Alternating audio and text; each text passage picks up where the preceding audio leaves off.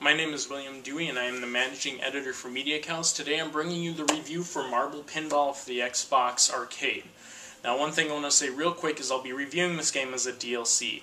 It was a DLC on the Xbox Live Arcade, it was a standalone game on the PlayStation Network. I played it on the Xbox Live Arcade, and I'm glad I did because there were a lot of different features in the Xbox Live Arcade that, can, that were not present with the PlayStation Network game a lot more support for the multiplayer, local and online, and it seemed like a little bit more kind of leaderboards within your own friends. Jump right off st- stating that I don't know a lot about the Marvel universe. I've played, I've seen the recent movies involving Marvel characters, and I read a few comic books when I was younger, but other than that, it is very limited. I have played more pinball than my Marvel. I have more pinball experience than my Marvel Universe experience. Um, I played some at the old pizza place that I used to go to when I was younger, and then all the pinball games for the Windows, the kind of game that comes with the systems, I have played a lot of and enjoyed it.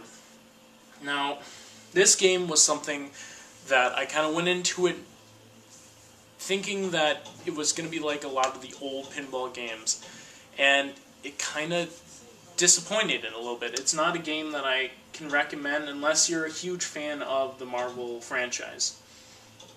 Something that you notice right off the bat is there's no storyline to it, which, you know, let's face it, in a pinball game you're not going to have a lot of storyline. However, they have these little kind of mission battles that you have in with each of the different tables. There's Wolverine, Blade, Iron Man, and Spider Man, and these different missions would will task you with. Usually, the thing is to shoot the pinball up all the different lanes here, in order to score, uh, or to defeat the villain. Now, if you haven't played pinball before, especially on the Xbox or really anything else, it's going to be very difficult for you. Maybe you're a Marvel fan and you just wanted to try this out. The aiming is pretty hard. I found myself a lot of times just doing the thing, the same thing over and over again. I would hit it up one lane, and then the pinball would come back down, and then I'd hit it up the same lane, and just keep on doing that constantly to get the better score. They also have these little modes where occasionally your bumpers would get switched up. So like when you would use the right bumper, the left bumper would activate, and that really made you think about the game and think about what you're doing very carefully. And since pinball is such a split-second decision game, that a lot of times just it, you couldn't do that. So I just found myself constantly just spamming the bumpers, hoping that I'd hit the pinball back into play. The graphical style of the game, the way Zen Studios presented the game and all the tables was great. They've done a very good job of adding, even in the background here. I don't know if you can see, but you can see a Spider-Man costume there. You have Peter Parker's camera along with a lot of his pictures. That was really cool. I liked how they just incorporated the whole universe into the table it was very pleasing to look at and a lot of times just distracting. I would be looking at the table instead of focusing on the pinball because I just wanted to suck in all the details.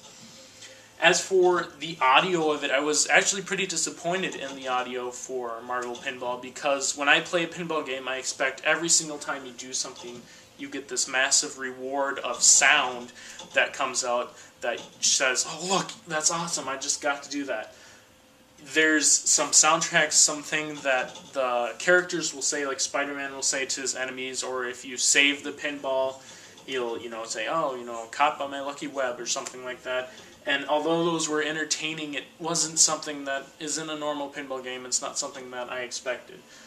Um, there's the there's like a classic kind of arcade sound in the background, a, a soundtrack that's being played constantly. It wasn't anything over the top, but I mean, it did its job, I guess the one thing that you see when you come back for pinball is you want to be able to come back to it time and time again and just be able to play it over and over again and have that need to want to come back.